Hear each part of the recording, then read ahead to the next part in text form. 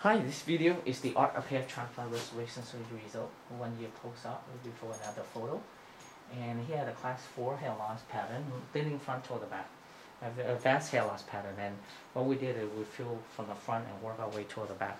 So the better density is always the front part, and then the middle, and then toward the back is a little bit um, less density, but it still have excellent result.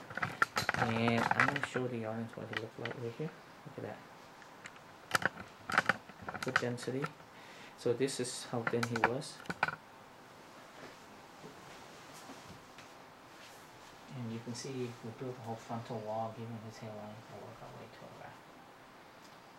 Right hand side, left hand side, top view.